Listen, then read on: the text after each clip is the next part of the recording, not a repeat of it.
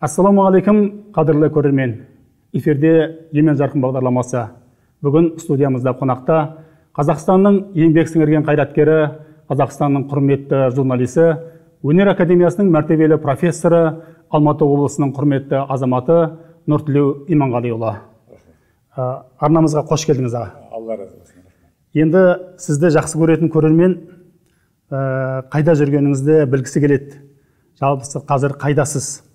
Телевизия әлемінің өте бір жылдам ырғағымен үндескен сондай бір өзіңіздің ғұмырыңыз қазір иә иә ғұмырыңыз қайда? Қазір немен айналысудасыз Ә, біріншіден шақырғандарыңызға үлкен рахмет. Ә, мен асқа жағам жоқпын. Ә, көкірегінің көзі бар ә, ұққан қайтар сөзі бар. Ә, қазақ деген феномен мені жоғалта қойды деп ойламаймын. Өйткені мен әлі эфирдемін. Ә, бүгінгі ақпарат министрі ә, дәурен абаев мырзаменен өткен жылдың желтоқсан айында екі үш мәрте жолықтық. Ә, сол жерде болған көп әңгіменің арасында менің бір ұсынысымды жақсы қабылдады. Оны айту керек қой деп ойлаймын қазір. Ол біздің мына ә, диван батырлардың әуселесін көтерген интернет деген кеңістіктің ә, бос қалып бара жатқандығы жайында әңгіме айтылды интернетте. Ә, кез келген өзін жасырын ұстағысы келген азамат кез келген мәселені айтатын жағдайға жеттік бүгін. Сондықтан оны ә, ол кеңістікті бос қалдыруға болмайтындығын әңгіме жасадық та содан кейін сол жерде бірден ұсыныс жасалды. Сол интернетке хабар жасамайсыз ба? Бағдарлама жасамайсыз ба? Мен айтамын телевидение жасайық интернет телевидение жасайық. Бұл да қолға алынып жатқан шаруа бүгін. Министрдің айтуы бойынша биылғы жылдың аяғы келесі жылдың басында болып қалар ма екен бізде тағы да бір жаңа интернет телеарна пайда болуы ықтимал.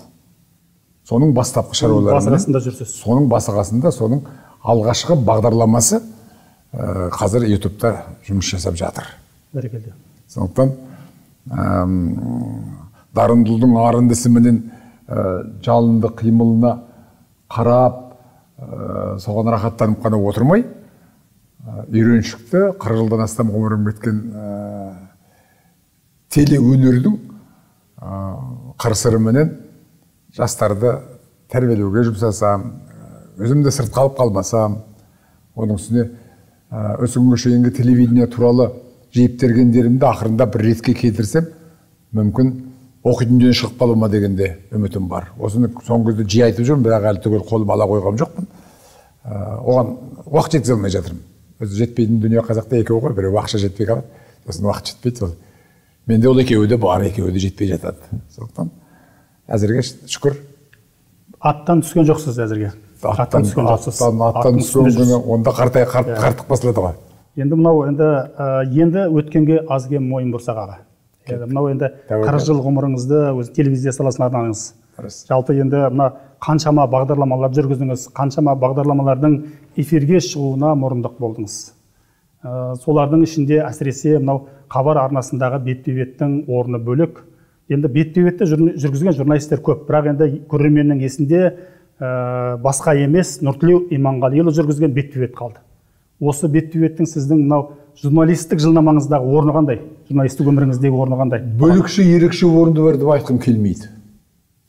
Айтпауға болмайды. Ә, қазақ өзінің қай баласын жек көреді? Менің қатысқан бағдарламаларымның ешқайсысын бірінен бірі мынау керемет болды мынау былай патша көңілді көрермен өзі көңілінде қалай қаласа солай болған шығар деп ойлаймын. Мен білетін бір шаруам бар.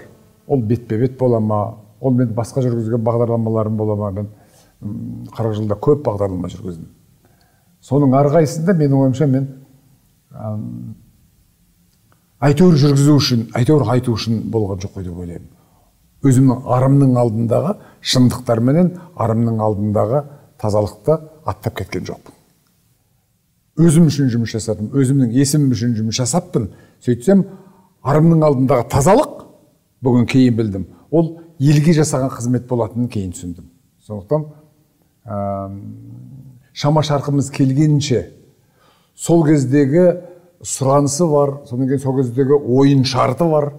Соның бәріменен есептесіп жасалған шаруалардың а, анау мынандай болды мынау мынандай болды деп баға беру маған артық болатын шығар деп ойлаймын.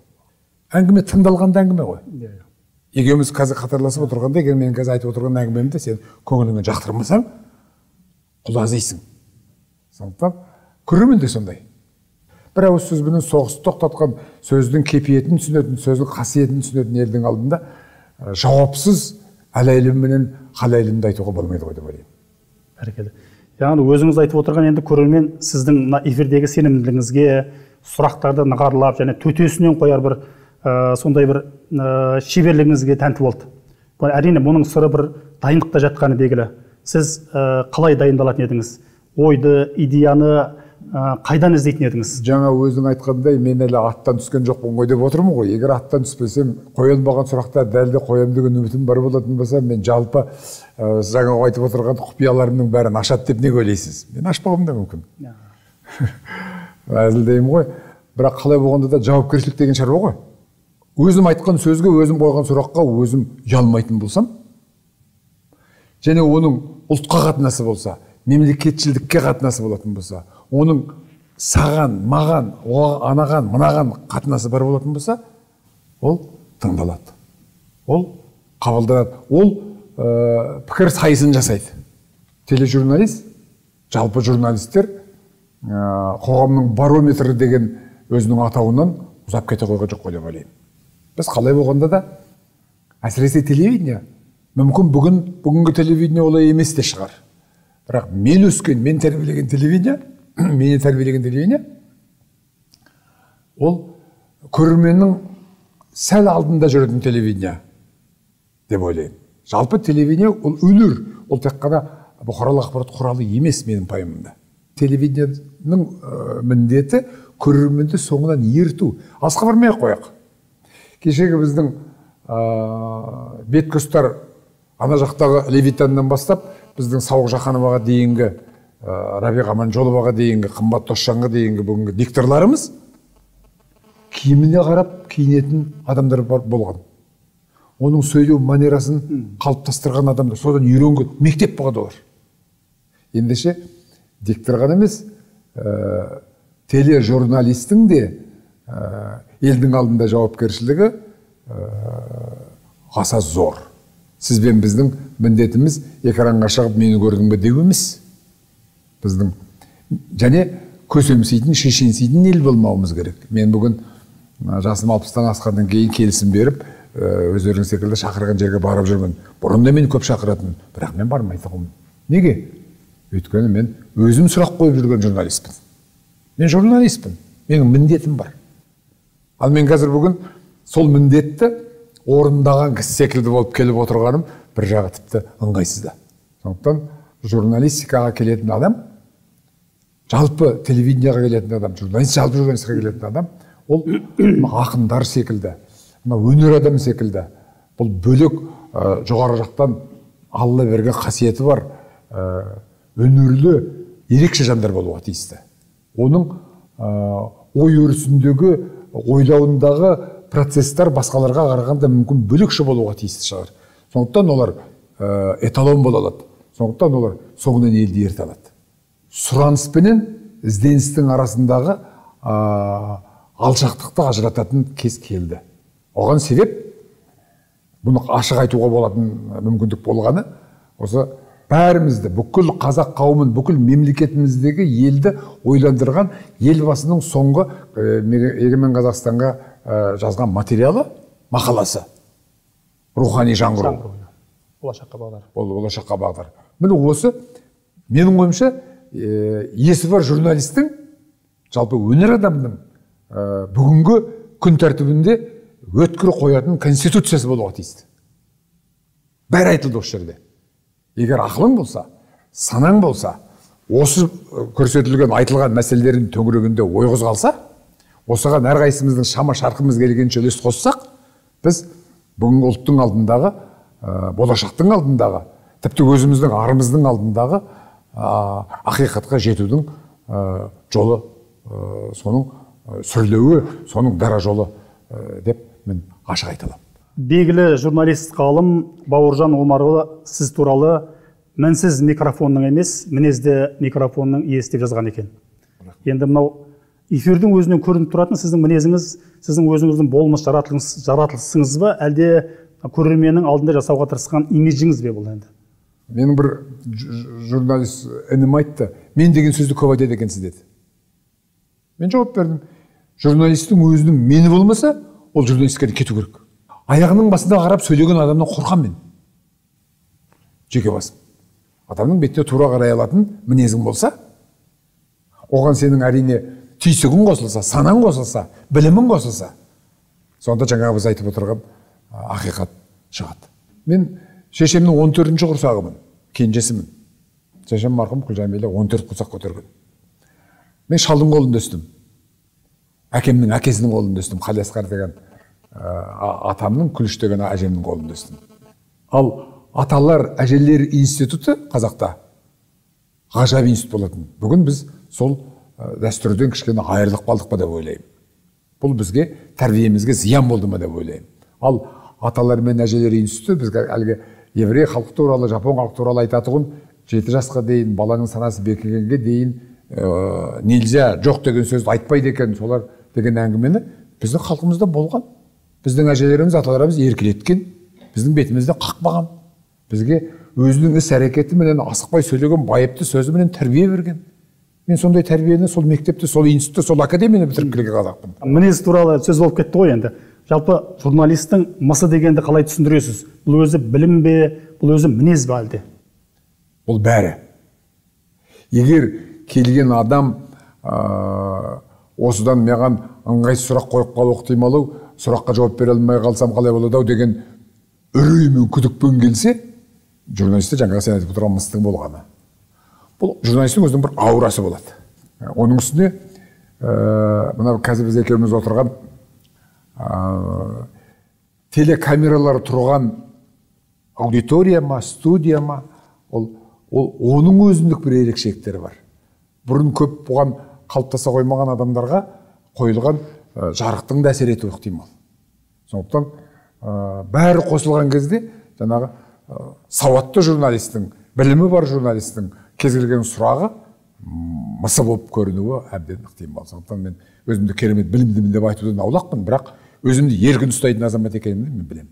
Нұртілеу иманғалиұлының екінші есімі бар ғой енді. Ол енді мынау ә, бай қуатты болайық. Елдің есінде көрерменнің жадында жүріп тұрған бай қуатты болайық. Осы бір тіркестің өмірге келу тарихы қандай? Жалпы қайдан шықты сіздің ойыңыз қайда идея қайдан келді? Бұл құпия. Бұл құпия болып қалғаны дұрыс. Кейбір шындықтар болады айтылмайтын. Соның қатарына бәрекелді. Енді мынау сіз жүргізген бағдарламалардың атының өзі сіздің мінезіңізден хабар береді. Мысалы енді ә, жас жігер дейді көзқарас ақиқатпен аңыз ой көкпар бетпе бет қолтаңба діңгек. Енді бәрі де бойына үлкен бір мағына сыйғызған бір кесек атаулар енді. Рахмет. Осылардың өмірге дүниеге келуінде бір, бір үлкен бір жалпы анау толқыныс толғаныс ой жатыр ғой оның, оның ар жақ бер жағы бір керемет ойланғаннан болған шаруа деп ойламаймын мен. Мына журналист менің түсінігімде бұл қоғамның барометрі деген жаңа айтып қалдым ғой. өмірдің өзінен алынады дейсіз атаулар міне міне міне міне біздің біздің сол сол кезде жасап отырған қызметімізбенен сол кездегі қоғамдық қатынастардың арасындағы баланс қой. Сондықтан әрине ақылыңа саласың қайтсек айтайық деген ойды меңзейді. Қайтсек жұмбақ болады қайтсек ой салады қайтсек мынау не деп ел ойлайды деп өзіңнің көрерменіңді өзіңе жақындату бір бар дағы. Содан кейін өзіңнің қанағаттануың бар ғой. Мен жаңағы ең алғашқы сұраққа қойған жауабың жауабымдағы айтқан тағы да интернет хабар жасап жатырмын деген бағдарламаны байқуатта ойлайық дедім. Нұртілеу иманғалиұлының авторлық бағдарламасы деп жазамыз ба дейді. Жазбай ақ қой ана өзі айтып тұр деді. Керек жоқ. Менің ойымша солай. Сіз көбінесе тікелей эфир жүргіздіңіз ғой енді. Енді тікелей эфирде айтылған әрбір сөз біз білеміз ол атылған оқ тәрізді енді. Жалпы мына абай айтпақшы жұрттың аузын күзетсең күн көрмейсің өзіңді өзің күзет кел шырағым деген бір сөз бар да. Яғни аузыңнан шыққанша сөз өзіңнің тұтқының. Ал аузыңнан шыққаннан кейін өзің сен сол сөздің тұтқынысың дейді. Енді осы бір жауапкершіліктің өзі сізді шыңдаған сізді бір ширықтырған болар деп ойлаймын мен өз басым. Сіз қалай? Менің ойымша өзің қойған сұрағыңа өзің жауап бердің кезінде талантты әдебиеттанушы әдебиетші сыншы әдебиет сыншысы сағат әшімбаев ә, қарыз бен парыз деген бағдарламаны жүргізген еді ғой. Ол Иә. кісі енді үлкен басшы болып жүріп сондай керемет бір бағдарлама сол кісі дүние өт- дүниеден өткен кезде сол кісінің артында қалған жаңағы қарыз бен парызды сізге жүргізуді сізге ұсынған екен. Не себепті бас тарттыңыз сол қарыз бен парыз жүргізуден қай қайдан қайдан тауып алғансың бұл ұзақ әңгіме. Мен қысқаша айтуға тырысайын. А, сағат әшімбаев деген марқұм феномен қазақ феномен а, азаматты әдеби сыншы ретінде таныдым біріншіден. Біз жүрсін ерман деген бүгінгі айтыстың атасына айналған азаматпенен қызметтес болдық. Бір редакцияда қызмет жасадық ол партия мектебін бітіріп келіп маған бастық болды. Кейін мен оған бастық болдым дегендей. Сонда ә, жастардың ортасында бір ә, пікір сайысын ұйымдастырдық.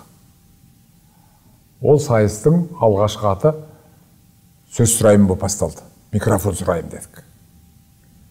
Осындай бір мейрамханада бригантина деген кафе болған. Сол кафеде алғашқы хабарды біз мереке құлкенов мен ә, бүгінгі елге танымал ғылым докторы түркістан университетінің профессоры құлбек ергөбек деген азамат үшеуміз жүргіздік ол кезде лездеме деген болады эфирден бірінші хабар өткеннен кейін лездемеде үлкен баға алды дағы ұсыныстар айтылды неше түрлі сондықтан басшылар тарапынан бұған жүргізуші іздеу керек бір жүргізуші болсын атын өзгерту керек деп сөйтіп ол ашық әңгіме болды ә,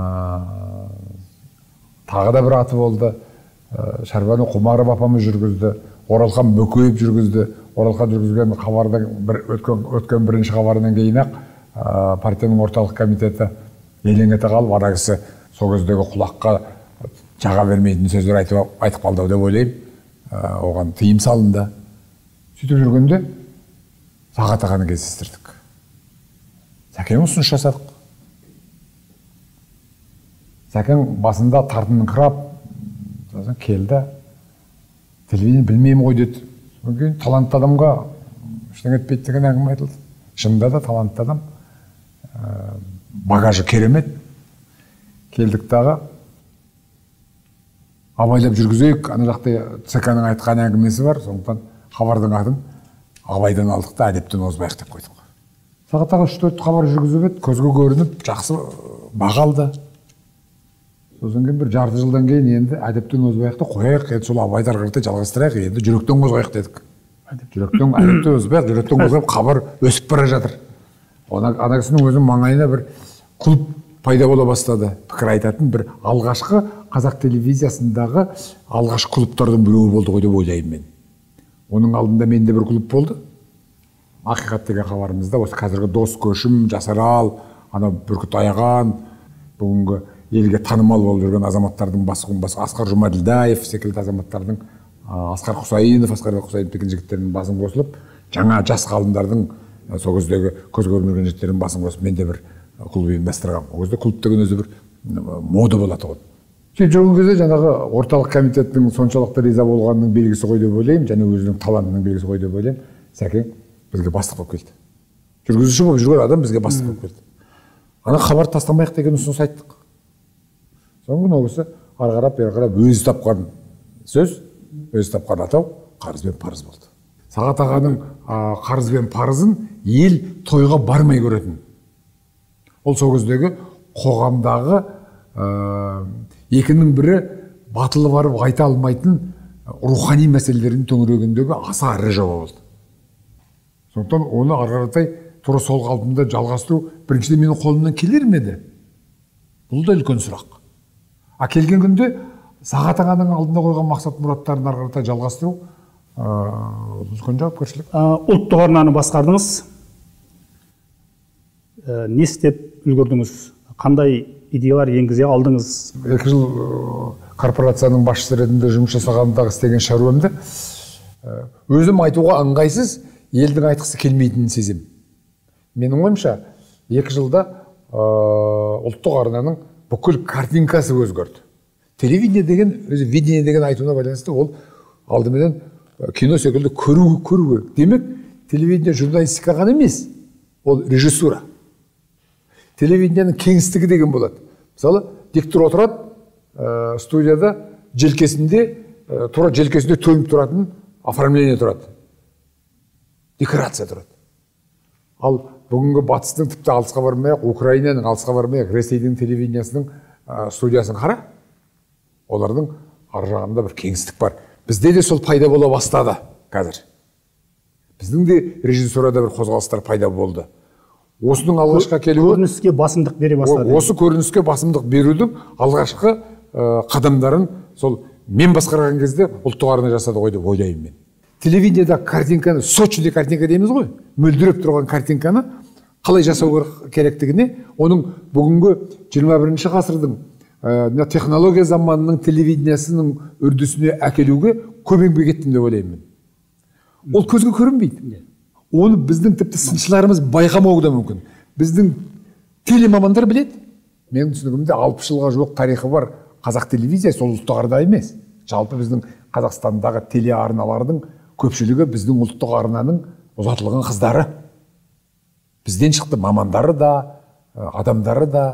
Қара шаңырақ қой енді. Қара шаңырақ бұл сондықтан ә, ұлттық арнаның алпыс жылдығы келесі жылы болады тұғын қазақстандағы телевизияның алпыс жылдығы деп қабылдану керек деп ойлаймын. Ендеше алпыс жылға жуық тарихы бар телевидениенің ә, ғылымдағы ғылыми айналымға түсетін мезгілі келді.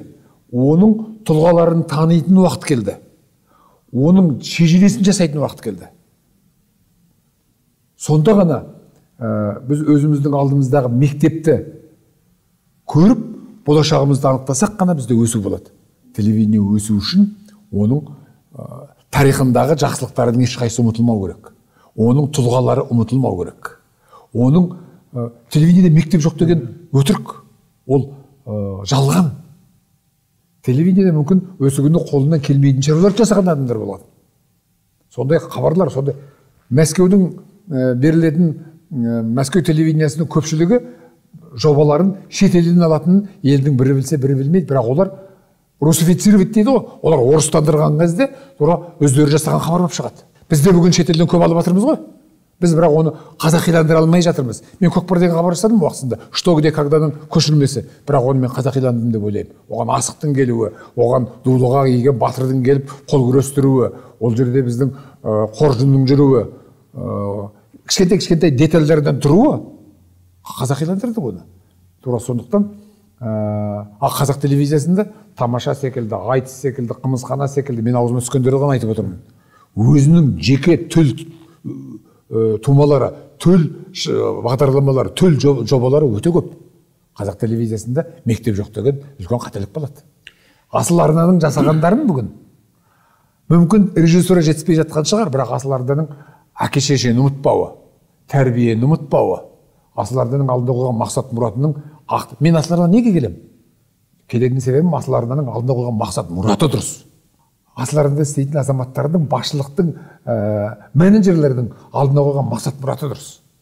Қазаққа қызмет жасау ұлтқа қызмет жасау деген дүние міне сондықтан мен шақырған жерде қалмауға тырысамын мектеп дегеннен шығады ғой нұртілеу аға. Енді мынау қазақ журналистикасының бір жампозы ретінде қазақ журналистикасының метрі ретінде енді кешіріңіз бүйтіп көзіңізге мақтағаныма ә, мынау өсіп келе жатқан іні қарындастарыңызға мынау журналист іні қарындастарыңызға қандай ә, кеңес айтар едіңіз? Жақсы маман болу үшін жаңағы сауатты журналист білікті бір тележүргізуші болу үшін бір қандай бір бір екі кеңес айта кетсеңіз не бір ақ ауыз сөзбен айтамын оқы оқы және оқы. Бәрекелді.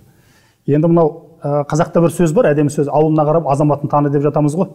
Енді азаматына қарап оның тегін тануға болады екен. Сіздің әкеңіздің ә, ақын ақын болғанын біз оқып білдік. Ә, сонымен бірге мынау ойыңызды күлбілтелемей күлбілтелемей жаңағы тура төтесінен айтуыңыз сөз саптаудағы шеберлігіңізбен бір шеберлігіңіздің өзі бастауын сол ә, сол кісілерден алатынын да білдік. Рахмет рахмет. қалай болғанда да ә, әкенің қаны мен ананың ақ сүтімен келетін шаруа ғой менің 35-ке келгенше фамилиям мысықов болған. Білетін шығарсың. Қыздарым өсіп қыздарым мектепке баратын кезде маңайындағы балалар мазақтайды ғой деп фамилиямды өзімнің әкемнің атыма ауыстырдым. Және оны мәскеуге барып жүріп үш рет барып жүріп әрең ауыстырдым. Иманғалиұлы болған сондықтан. Мысықтың шын аты мұхаммедқали. Көзін жұмып отырады екен. Үш мәрте болыс сайлаған кісі. Соның жеңгелері көзін жұмып отырғандықтан мысық қайын деп атаған екен. Кеңестік жүйе келіп ә, әркімге паспорт беріп жатқанда қалиасқар деген ұлына мынау кім баласы? мысықтың баласы мысық жазып берген ғой. Сөйтіп менің атам да әкем де мен де менен басқа жаңа он төрт баланың он үші иманғалиевтар қалиасқаровтар мұхаммедқалиевтар бұрды да мені ұмытпайық ана ана кісіде ә, қалсын деген шаруаменен. Мен кейде ойлаймын қыздарым үшін жасағаным болмаса менің фамилиям журналистке керекті нағыз өзі есте қалатын фамилия еді ауыстырмай ақ қойса болатын еді. Бірақ енді мына өмірге бірінің артынан бірін үш қыз келді да оларға обал болмасын дедік. Сондықтан ә, ол кісі болыс болса тек адам емес қой. Үш рет халық өзі сайлап отыратын болса билік өзі қолдап отыратын болса демек ар жағында бар деген сөз. Менің көзім көрген әжем кез келген ауылдағы той томалақта айтыса кететін. Сол айтысы әжемнің айтысы өзінің ұлына әкеме қонған. Әкем өмір бақи бухгалтер болып істеді. Екі үш совхозда бас бухгалтер болды бірақ қолынан домбырасы түспеген. Жиын тойдың дүлдүлі гүлі болып отыратұғын. Осы халқамен айтысқан қуатпен айтысқан. Осы бүгінгі елге танымал тұрсынзада есімжанов деген ақын бар. Иә. ол да айтысқан уақытысында. Сонымен мына тағы да біраз осы айтысқа қатысып жүрген жұмаш оспанбекова деген айтыскер ақынмен айтысқан газетке жазып айтысқан аудандық облыстық газеттерге жазып айтысқан азамат. Сондықтан ал әкемнің тағы бір қасиеті болған ол жүсіпбек елебековпенен бірге сол кездегі манарбековпен бірге қызылордада біздің қазіргі әкем театры қызылордада болған кезде әнші ретінде театрға қабылданған менің әкем.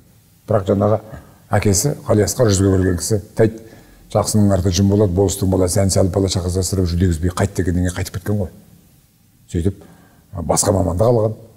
Сондықтан біздің ар жағымызда бар өзі алладан берген журналист болмасаңыз кім болар едіңіз журналист болмасам журналист болар едім енді мынау бай қуатты болайық нұртілеу иманғалиұлының брендіне айналған сөз енді бетпе бет бағдарламасының бет пердесі болған осы бір тілек қаншалықты қабыл болды деп ойлайсыз бүгінгі таңда осы сұрақ тектен де қойылып отырған жоқ қой немесе сенің күмәнің бар немесе соның орындалып жатқанына ризашылығың бар осы екеуін патша көңілді көрермен қалай қабылдайды солай болсын мен мұны ықылас ниеттің дұрыстығы білініп жатса ал оның білінгендігіне мен бүгін көзім жеткен өйткені қазақстанның кез келген тойында айтылатын тіпті менің аты жөнімді ұмытып қалса а анау ма деп жаңағы сөзді айтатынын мен бүгін білемін сондықтан бұл бренд дейміз ба бұл өзі менің есіміммен қатар жүретін сөз ба бұл қазақ қашан ә, тіпті жауына да жақсылық тілеген жыланның басына ақ құйып шығаратын адам емес пе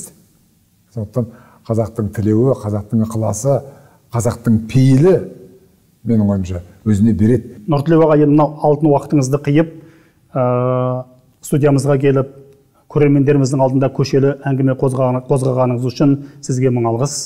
Алла сізге абырой қуат берсін деп тілейміз. Құрметті көрермен бүгін студиямызда қонақта болған қазақстанның еңбек сіңірген қайраткері өнер академиясының мәртебелі профессоры алматы облысының құрметті азаматы нұртілеу иманғалиұлы. Емен жарқын әңгімеміздің басында келесі кездескенше.